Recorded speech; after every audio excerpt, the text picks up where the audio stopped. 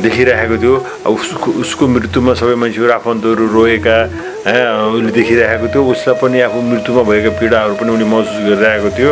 उसले म मरेको छैन भनेर पनि भन्न आइरहेको थियो तर त्यो चाहिँ सम्पर्क हुन सकेको थिएन। त्यही भएर मानिसको मृत्यु भनेको त अपूर्ण मृत्यु मात्रै थियो।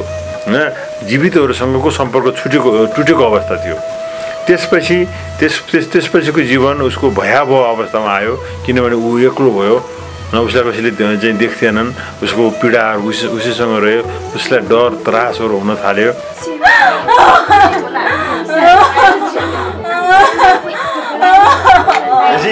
पैसा निस्केछ पैसा यो चाहिँ यो दुखेको किनभने तिनीहरू चाहिँ मानसिक चेतनाका छन् क्या पैसा तिनीहरू मानसिक चेतनाका छन् कि? तिनीहरूलाई चाहिएको छ क्या पैसा? तिनीहरूले पैसा मेरो भन्नु सोचेछ। ल पैसा तिर्ने हो पुण्यमा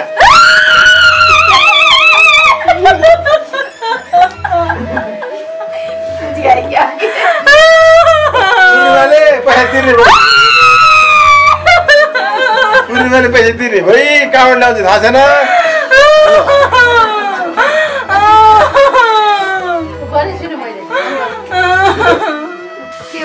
त आजकल बरोबानको किताब घर लाने भने चाहिँ किताब किताब निकालेर निकाल्ने हात मिलेन हात मिलेन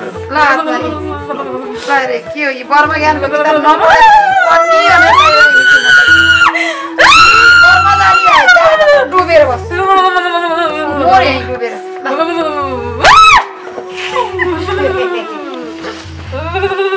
किताब हाल्यो किताब हाल्यो त चोर जान्छ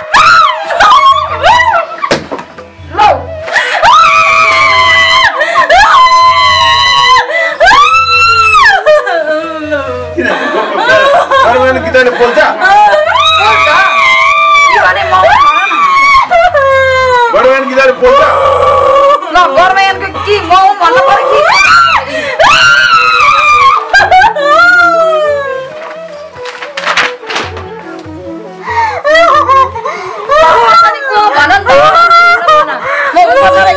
कयौँ वर्ष बित्यो होला कति दुःख पायो होला होइन विभिन्न दुःखको आफ्नो आफ्नो ठाउँ छ। तर पनि वेदशास्त्रले के भनेछ भने मृत्युपछि ऊ बर्ममा फर्काउनुपर्छ मानिस मरिसकेपछि हामीले घाटमा लगेर उसलाई विसर्जन गर्छौँ अथवा हिन्दूहरूले घाटमा लगेर विसर्जन गर्छन् मुसलमानहरूको आफ्नो तरिकाले चिहानमा लगेर विसर्जन गर्छन् के अरे क्रिस्चियनहरूको पनि आफ्नो तरिकाले होइन विसर्जन गर्छन्। त्यहाँ पुगिसकेपछि त्यहाँ छोडेर हामी हामी फर्कन्छौँ। एक थरीले अझ त्यहाँ छ त्यहाँ पण्डितहरूले पुजारीहरूले अझ त्यहाँ केही पानी चढाउनु पर्छ भन्ने खालको कुराहरू पनि गर्छन्। पहिलेबाट यस्तो बाबुको नाम के? नाम बाबु नाम देवराज पौडेल। देवराज हजुर। कति पढ्नु देवराजबाट कुन विषयमा? के हुन्छ त्यो लक्षण मलाई एकदम कस्तो फिल हुन्छ भने अरूले मलाई हेरे जस्तो लाग्छ कि मेरो आँखामा केही राखिदिएको दिमागमा पनि केही केही राखिदिएको जस्तो लाग्छ। अनि अरू चाहिँ मेरो थटहरू पुरै पढ्न मिल्छ। त अनि मलाई हेरिरहेको छ जति पनि मिल्छ त्यस्तो हुन्छ। अनि आत्तिन्छ मन आत्तिन्छ मन आदिन्छ थट अर्काले पढिरहेको छ। अँ, कसले पढाएको छ?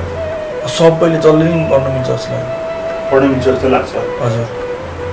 हाम्रो यो अङ्कल बा कि अरू समथिङ सम म त मलाई जहाँसम्म लाग्छ पोखरा सबलाई थाहा छ जस्तो लाग्छ। त्यो बारेमा। भने मेन प्रब्लम तपाईँको अहिले बोका आउनुपर्ने प्रब्लम अथवा यतिकै दिनसम्म सफरिङ भइरहेको प्रब्लम भनेको तपाईँलाई कसैले हेरिराखेछ जस्तो हजुर, हजुर। सबैको लागिराखेछ र मेरो बारेमा कसैलाई थाहा छ? हजुर मेरो सबै थटहरू सब पढ्न मिल्छ अनि मैले बोलेको कुराहरू पनि सब सुन्न मिल्छ। सब इयरफोन लाएर सुनिरहेको छ जस्तो लाग्छ। बाबुलाई सबभन्दा पहिला आँखमा क्यामेरा छ भने अनि आँखा क्यामेरा छ भन्ने बित्तिकै त्यो आँखा चाहिँ यस्तै गरेर बस्ने के? दिनभरि। यो मिनी क्यामेरा हालिदिएछु मेरो आँखामा। यो घरभरि यो रुममा सबै क्यामेरा फिट गरेको छ। White Nepal white Nepal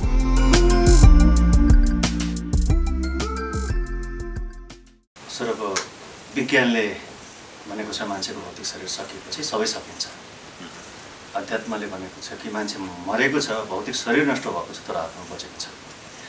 यो त सरले जुन खालको ब्रह्मज्ञान छ यसले त विश्वविज्ञानलाई नै ठुलो चुनौती हो। धेरै त्यस्ता युनिभर्सिटीका प्रोफेसरहरू जसले चाहिँ मान्छेको यो भौतिक शरीर नष्टसँगै सबै नष्ट हुन्छ भन्नेहरूका लागि त यो चुनौती र च्यालेन्ज भयो नि सर सम्पूर्ण विज्ञान संसारभरिका विज्ञानहरू अथवा युरोपका अमेरिकाका विज्ञानहरूले पनि मानिसको शरीर भौतिक चिजबाट बनेको छ र मानिसको मृत्यु भइसकेपछि त्यसको अस्तित्व सिद्धियो भनेर भनेका छन्। आजसम्मको विज्ञानले भनेको त्यति हो।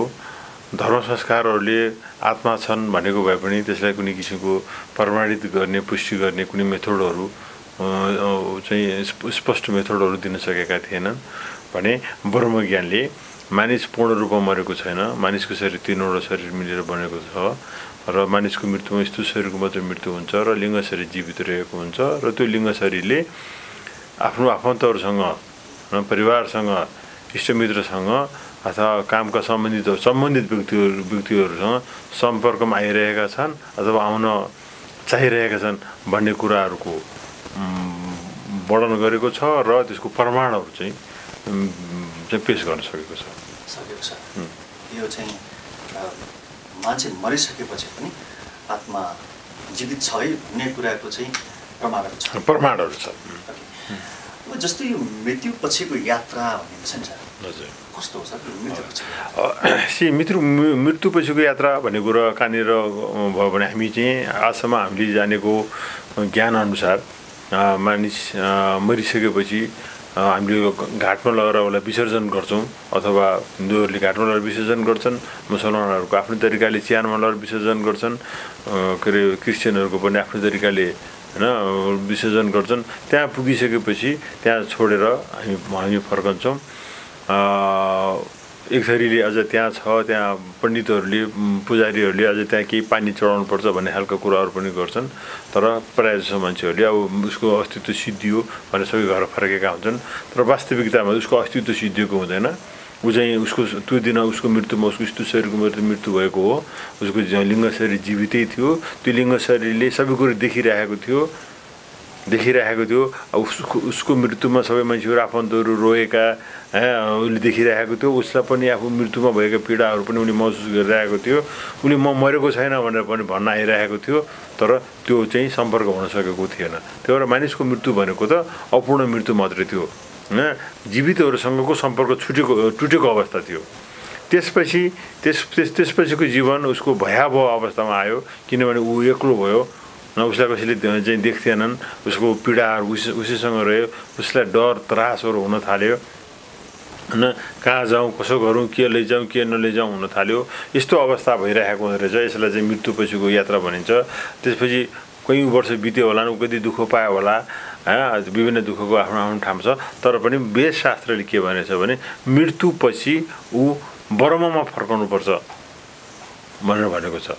र यदि ऊ बर्मामा फर्कन सक्यो भने उसको पूर्ण यात्रा भयो। मानिस बर्माबाट सिर्जना भएको हो र ऊ बर्मामा फर्काउनुपर्छ भनेको छ। त्यही भएर मानिसको मृत्युपछि उसको लिङ्ग शरीरले होइन विभिन्न प्रोसेस पार गरेर ऊ यदि बर्मामा पुगेको छ र ऊ चाहिँ सदाशिवमा विलिन भएको छ भने त्यो उसको पूर्ण यात्रा हो। त्यसैलाई मोक्ष भनिएको छ।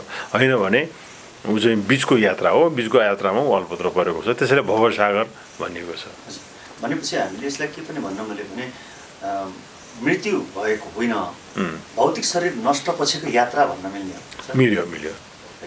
ओके अब अपूर्ण अपूर्ण मृत्युको यात्रा। ओके।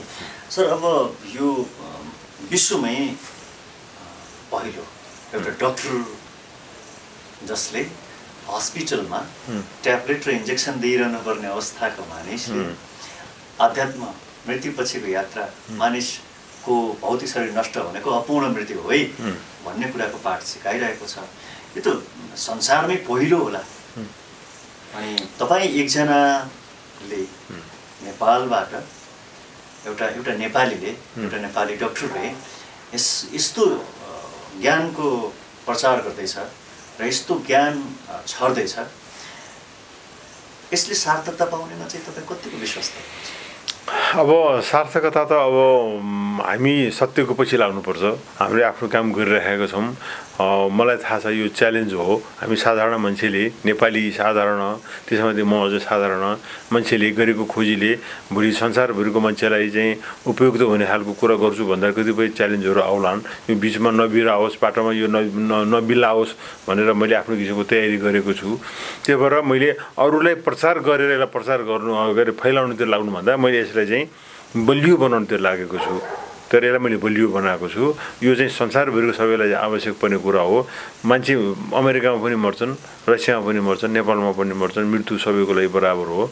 मृत्युपछिको यात्राको कष्ट सबैलाई बराबर हो।